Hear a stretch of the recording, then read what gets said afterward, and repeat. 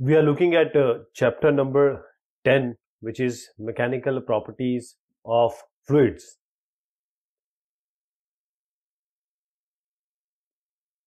Mechanical properties of fluids. We'll be taking some discussion on this, some brief discussion. So, mechanical properties of fluids. First of all, what are fluids? So these are those substances which can flow. If any external force is applied on it, they can flow. Liquid and gases, liquids and gases, they come in the category of fluids. They don't have any finite shape or a definite shape, but it will take or they will take the shape of the vessel they are contained in. The total normal force which is exerted by liquid on the rest of the liquid or you can say at rest on a given surface is called the thrust of a liquid.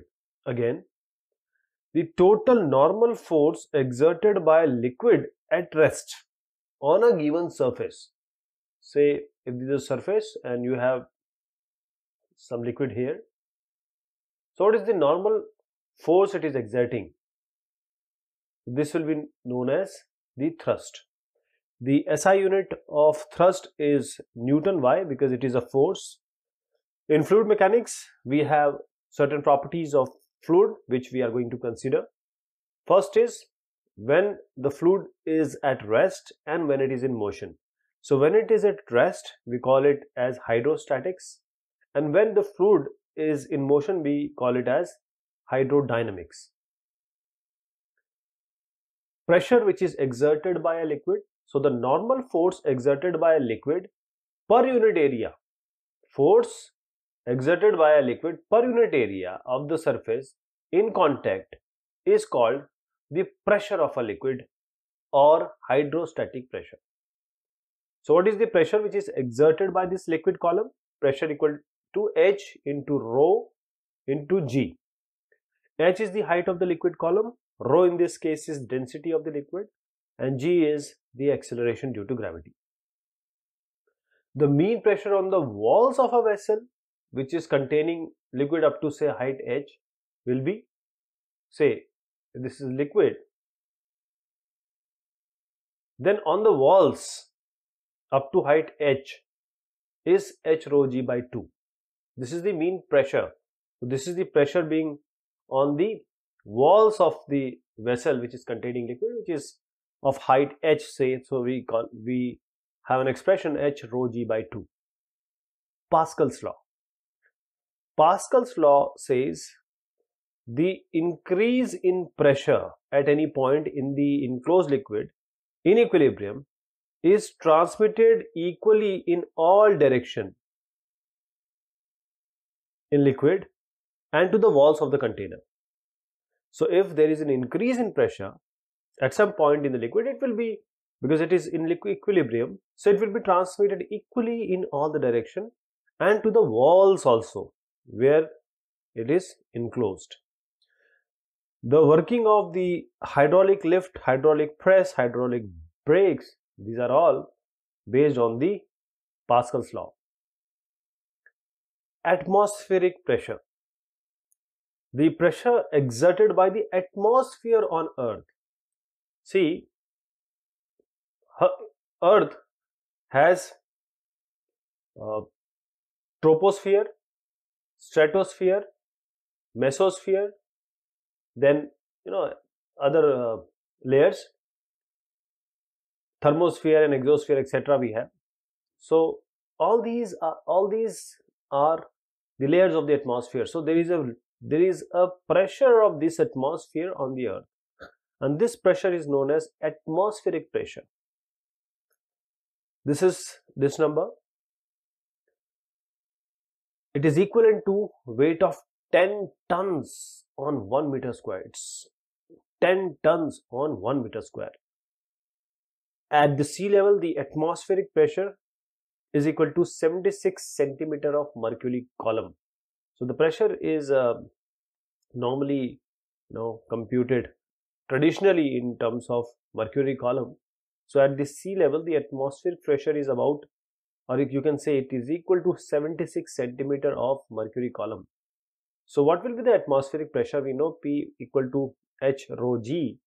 Height is 76 d that is the density rho is 13.6 and g is of course in uh, CGS system is 980 this number. So the atmospheric pressure it should crush our body.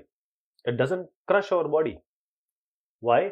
Because the pressure of blood which is flowing through our circulatory system is balancing this pressure. That is why this much of pressure which is exerted by the atmosphere on the earth's surface is not crushing us. Though it is huge large but we have self god has given us uh, you can say a counter pressure which is balancing this pressure atmospheric pressure is also measured in terms of TORR, TOR and bar.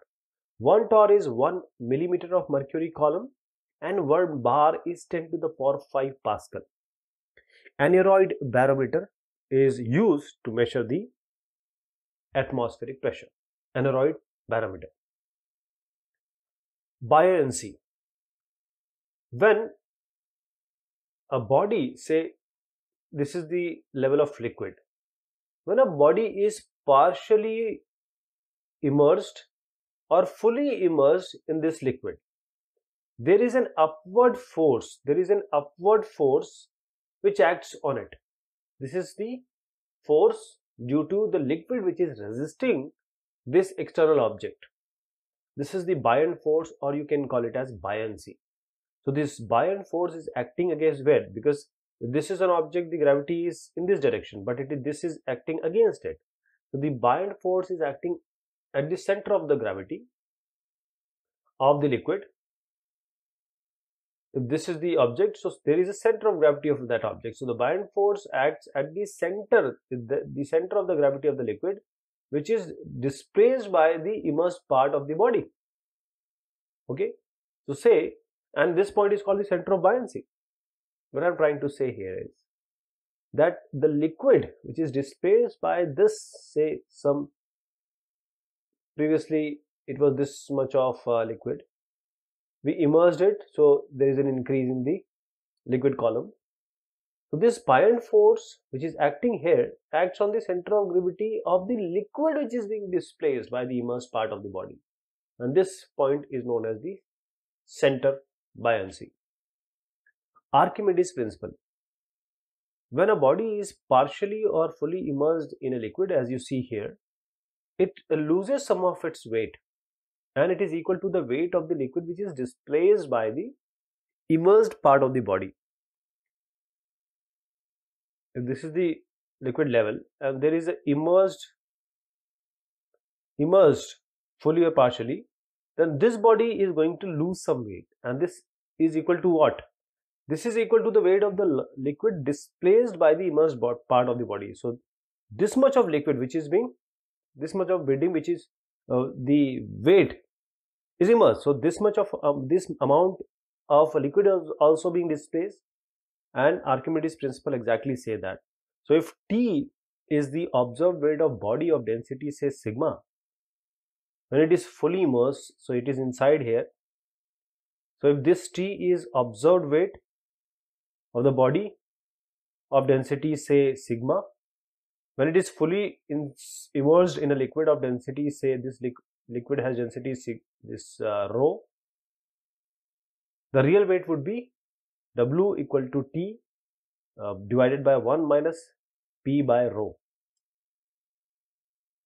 P minus sigma, sorry, this is sigma. T by 1 minus P by sigma.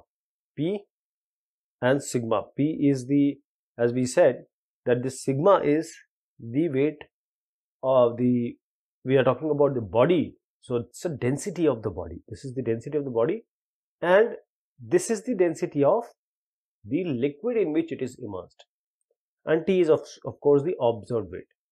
So the real weight would be of this relationship. Laws of flotation. a body will float in a liquid when if the weight of the body is equal to the weight of the liquid being displaced by the immersed part of the body. So, if we have this liquid, so if this body, if the if the weight of the body, whole body, is equal to the weight of the liquid being displaced by the immersed part of the body. So, this is the immersed part, the immersed part. So, if the weight of the body is equal to the weight of the say this is the water being uh, displaced so if these, are equal then we say the body is going to float. So we say if capital W is the weight of the body and W is the buoyant force then if this capital W is greater than W the body will sink because of course this is greater weight of the body is greater than the buoyant force. Buoyant force will not be able to contain it or push it uh, to the surface. So it is going to sink to the bottom if w capital w is less than small w then the body will float partially submerged in the liquid. But if w is equal to capital w then the buoyant force and the weight they are just equating um, each other. So now the body will float in liquid if its volume whole volume is just immersed in the liquid just immersed. This is partially submerged this is sinking. So floating body will be in stable equilibrium if this said there is a center of buoyancy also. If the meta center it lies vertically above the center of gravity of the body. The floating body will be un in this was in stable equilibrium. This will be unstable equilibrium. If the meta center or you can say center of buoyancy which lies vertically below the center of gravity of the body and stable unstable and there is a neutral also. So the floating body will be in neutral equilibrium if the meta center or the center of buoyancy it coincides with the center of gravity of the body. Density and relative density. Density is what? Density of a substance is defined as the ratio of mass to its volume. Or you can say mass is density into volume. So density of a liquid is mass upon volume, density of water is 1 gram per centimeter cube or 10 to the power 3 kilogram per meter cube. This is a scalar quantity, the dimensional formula if you see here this is mass and this is L to the power minus 3. The relative density of a substance, what is this? This is because it is relation to something. So relative density of a substance is defined as the ratio of density to the density of water at 4 degrees centigrade. So relative density will be density of a substance say density of substance D and density of water say this is substance this is water at 4 degree centigrade. So weight of you can say because density is of course equal to mass upon volume. So this is the weight this can be written as weight of substance in air and loss of weight in water. So relative density we also call it as specific gravity this has no unit because both are same it has no dimension if you talk about a solid body the density of a body will be equal to the density of the substance. If we have a hollow body the density of a body will be lesser than that of a substance. When immiscible liquids of different densities are put or poured in a container the liquid of highest density will be going to the bottom while the liquid having a density lowest of all these will remain at top and interfaces will be plane. So when we mix substances, what is the density of the mixture of substances? When two liquids say mass m1 and m2, they are having a density p1 or p2 or rho 1 or rho 2. If they are mixed together, then what will be the density of the mixture? It will be simply m1 plus m2 by m1 by m2 plus m2 plus uh, m m2 plus p2 you can uh, you know just just rearrange it. This will be p1 p2 and p1 p2 m1 plus m2 by m1 p2 plus m2 p1 so when two liquids of same mass m but different densities p1 and p2 they are mixed together then the density would be because the mass is same. So mass m1 plus m2, this will be m, 2m. This again can be taken m and m out. So this will be cancelled out. Only remaining is 2 p1 p2 by p1 plus p2. So this is 2 p1 p2 by p1 plus p2. So when two liquids of same volume V but different densities say p1 and p2 they are mixed together then density of mixture again we are taking the same scenario when we have two liquid of same volume uh, but different densities p1 and p2 then the p is simply p1 plus p2 by 2 so the density of liquid it varies it changes with the pressure. And how does it change? P equal to p0 p0 is the initial density of the liquid. And this k is the bulk modulus of elasticity of uh, that liquid. And this delta p of course is the change in pressure p2 minus p1 initial minus uh, final. Final minus initial. Viscosity viscosity is a property of a fluid and the property of this fluid by virtue of which the internal friction force acts between its different layers which are opposing their relative motion. This is known as viscosity. There are internal friction forces. These internal friction forces, these are called as viscous force. So these forces, they are intermolecular forces and they are acting between the molecules or different layers of liquid. They are moving with different velocities. So viscous force F is given by minus eta a dv by dx. Eta is known to be force by A and dv by dx. What is this? This is the rate of change of velocity with respect to distance which is also known as this dv by dx is known as velocity gradient. A is of course the area of cross section and this is the coefficient of viscosity this one. SI unit of this eta is this one pascal second you can say pascal second or decapoise the dimension formula is m l minus 1 t minus 1 so the idea or the knowledge of coefficient of viscosity of different oils and its variation with temperature. It helps us to select a suitable lubricant for a certain machine for a given machine. And viscosity is due to the transport of momentum. The value of viscosity or all and also because uh, the the compressibility is also involved so value of viscosity and compressibility for any ideal liquid is zero the viscosity of air and some certain liquids is uh, also utilized for you know different parts of the instrument and you know applied for the workability of these parts instruments so the knowledge of this viscosity of some organic liquids is used to determine the molecular weight also and the shape of large organic molecules like the proteins and the cellulose. Variation of uh, viscosity. So the viscosity of liquids it will decrease with increase in temperature. So if temperature increases, viscosity decreases.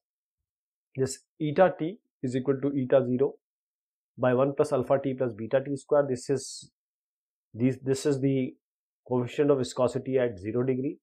This is the coefficient of viscosity at t degree. Alpha and beta are constant so the viscosity of gases as i said increases with increase in temperature as you see here otherwise so n is directly proportional to under root t so the viscosity of liquid increases with increase in pressure also. But the viscosity of water, see, viscosity of liquid, viscosity of liquid increases with increase in pressure. But the viscosity of water decreases with increase in pressure. Viscosity of gases do not change with pressure.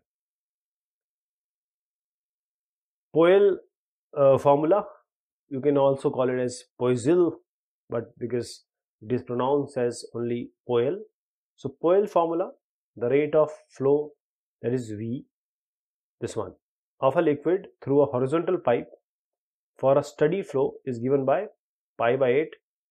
This all the values I am going to tell you. This is the pressure P and this is the pressure difference across two ends of the tube. R is the radius of the tube this eta is the coefficient of uh, viscosity and L is of course the length of the tube. So this is the rate of flow of liquid through horizontal pipe. It has to be a steady flow, Poiseuille formula. So the rate of flow of liquid through a tube is given by this value. This P is the uh, liquid pressure and R is of course this what we got from Poiseuille formula. This is called the R or liquid resistance 8 eta L by pi r to the power 4. So when you have two, two tubes which are connected in series like this. So the resultant pressure difference will be P1 plus P2. The rate of flow of liquid V is same through both the tubes and the equivalent uh, liquid resistance R is given by R1 plus R2. Now when they are connected in parallel, so the pressure difference is same across both the tubes. Rate of flow of liquid will be V1 plus V2 and the equal liquid pressure 1 by R will be equal to 1 by R1 plus 1 by R2.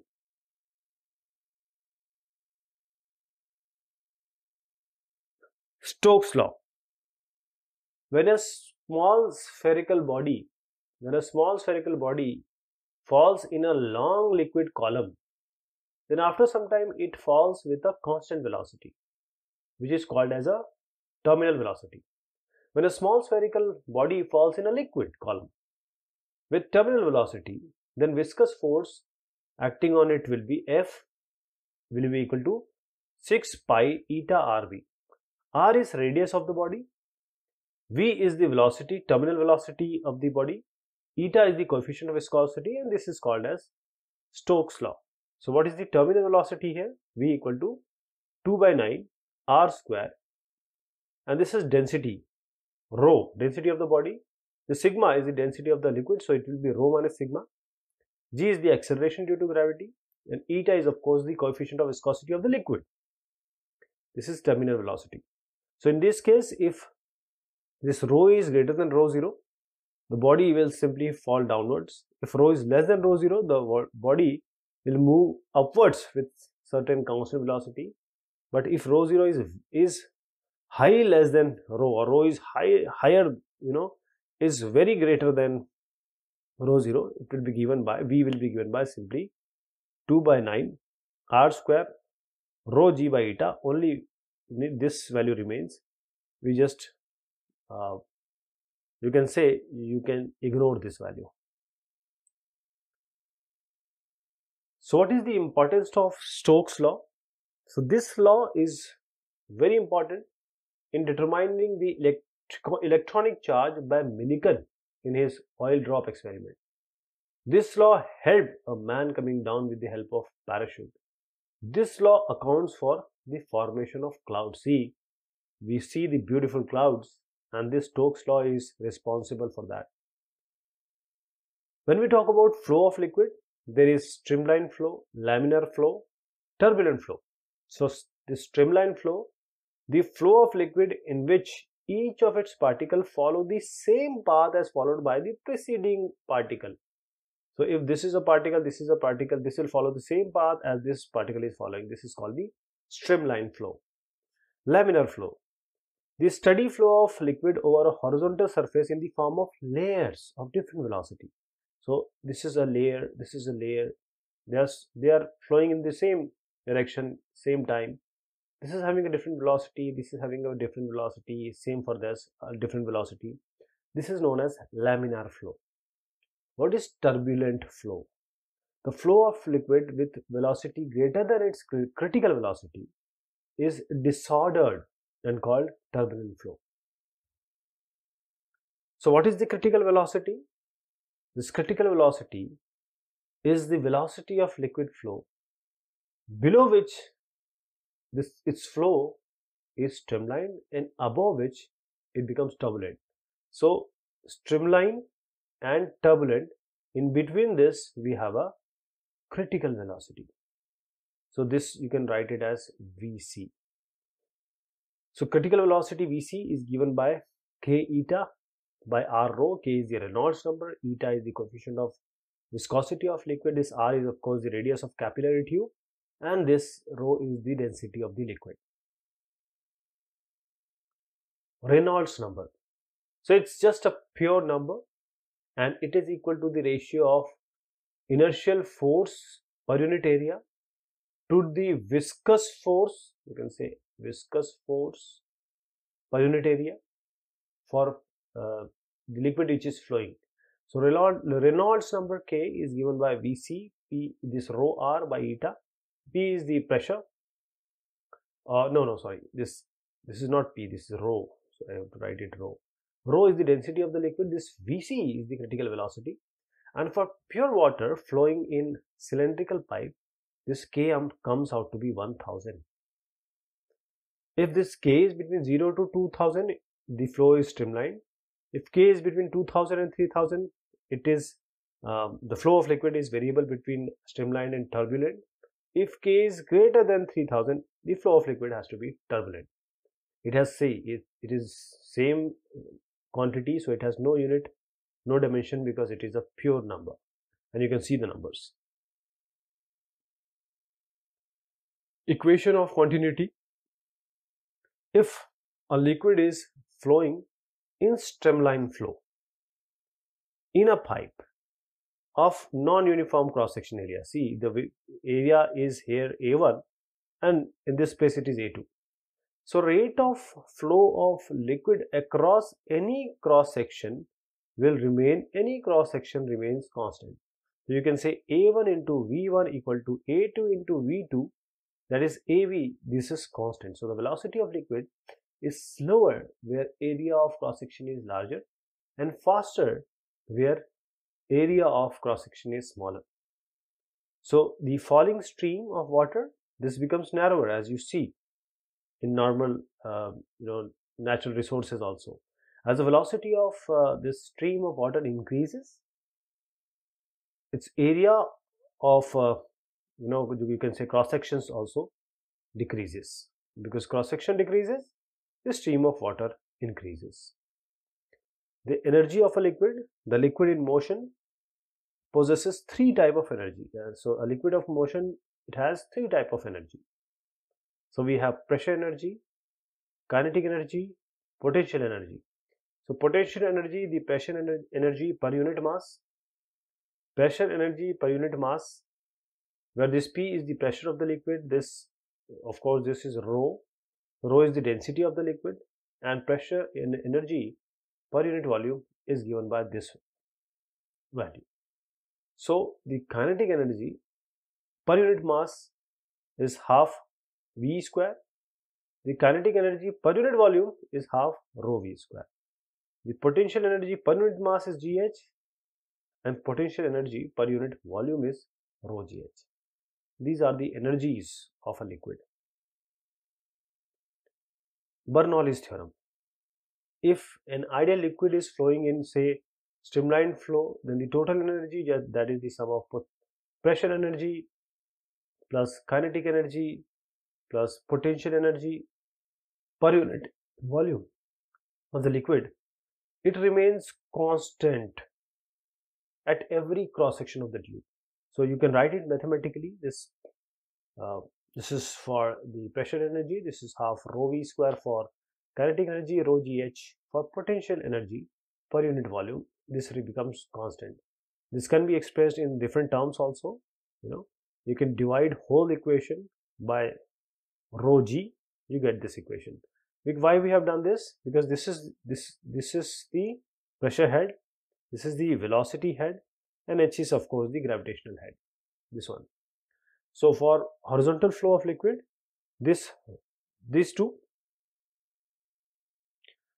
if you add them this they has to be and the addition has to be constant so this is the uh, this is known as the static pressure this one is known as the dynamic pressure so therefore the uh, in the horizontal flow of liquid if P increases, V decreases and this is vice versa. So the theorem is applicable to ideal liquid that means a liquid which is non-viscous, incompressible and irrotational.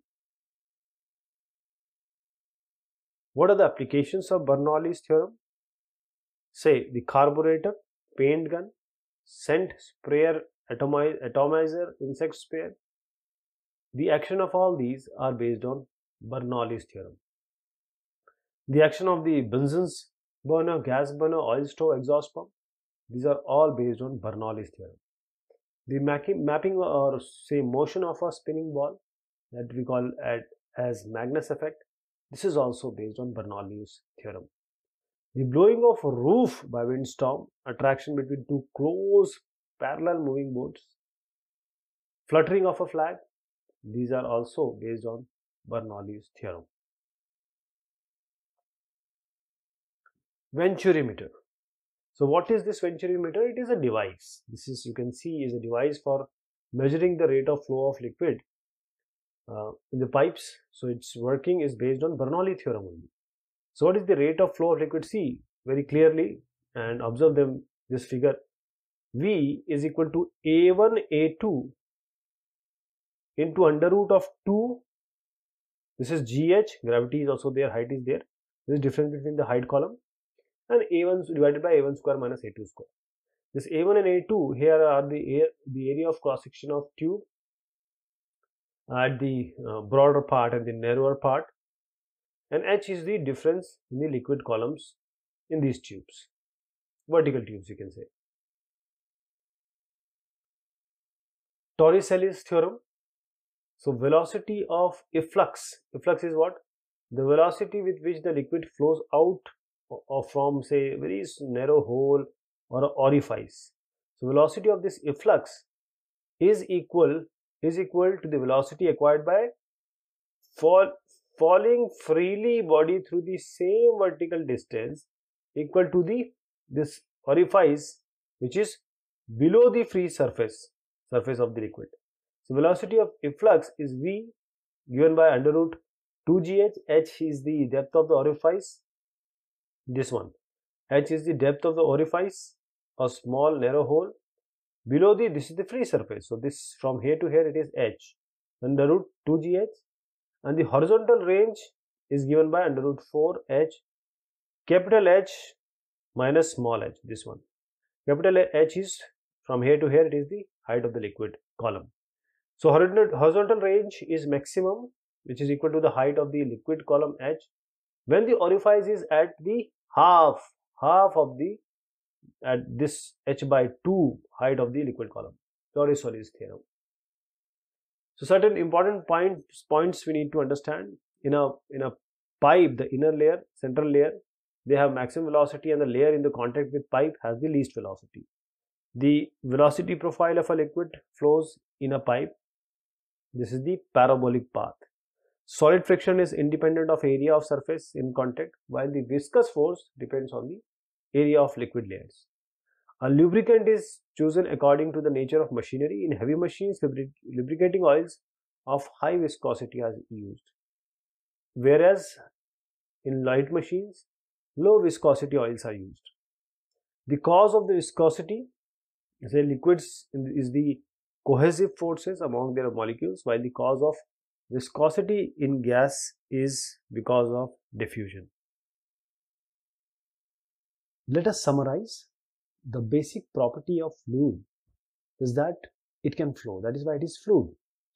So this fluid does not have any resistance to change of its shape. In fact, the shape of the fluid is governed by the shape of its container in which container it is being you know, say poured or filled it will take the shape of that container. A liquid is incompressible and it has a free surface of its own. The gas is compressible and it extends to or expands to occupy all the space which is available to it, that is the container or some area.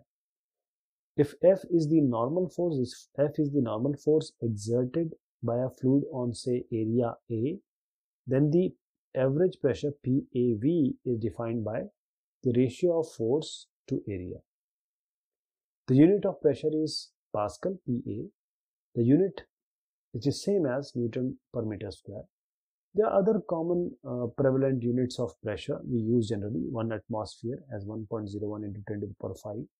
1 bar is 10 to the power 5 PA Pascal. 1 torr is 133 Pascal which is if you divide it by 1000 it becomes 0.133 kilopascal and also 1 millimeter of Hg which is equal to 1 torr which is equal to 133 Pascal. We have a Pascal law. This states that pressure in fluid at rest is same at all points which are at the same height. A change in pressure which is applied to an enclosed fluid is also transmitted undiminished to every point of the fluid and the walls of the containing vessel. This is Pascal's law. So the pressure in a fluid, it varies with depth. That is, this is the depth, say h. According to this expression, this rho is the density of the fluid we had assumed it to be uniform. So we can find pressure at this depth that is H. This is PA, this one, plus the rho GH. The volume of incompressible fluid which is part passing any point every second in a pipe of non-uniform cross-section is the same in the steady flow. That is, this velocity into area V1A1 is equal to V2A2 will always be equal to a constant. So this equation is due to the mass conservation in incompressible fluid flow. Then Bernoulli principle, there is a Bernoulli principle stating what? That as we go or as we move along a streamline, the sum of the pressure P, this one, plus the kinetic energy per unit volume, that is rho v square by 2, and the potential energy per unit volume that is rho gy this remains constant. This will always be a constant. This is bernoulli's principle.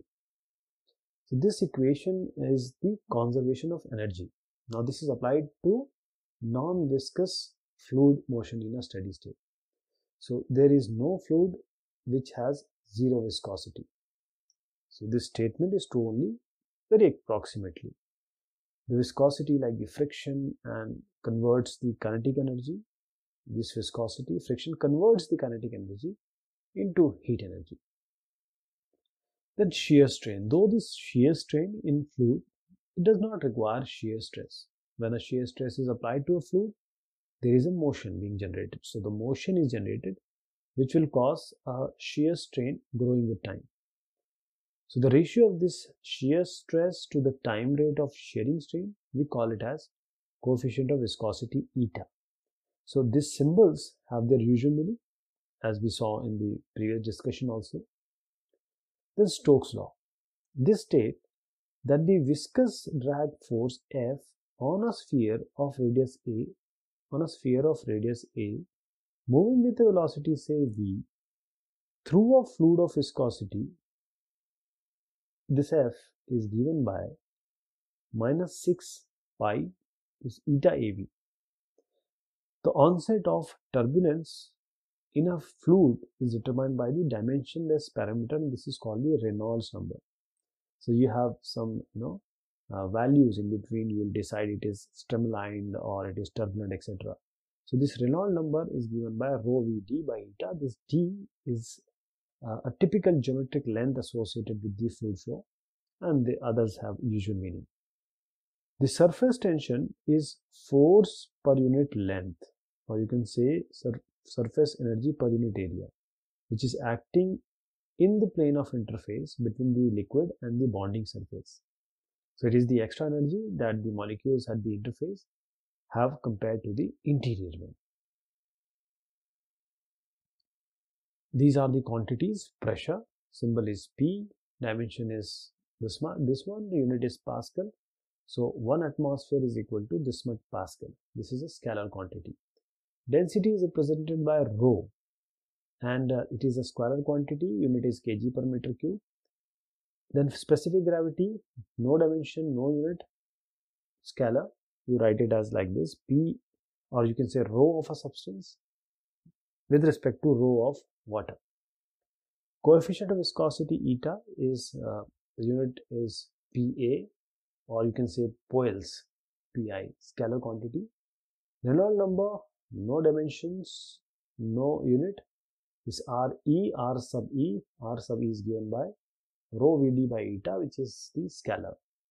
Surface tension capital S represented by capital S, mt minus 2 Newton per meter, it is scalar quantity.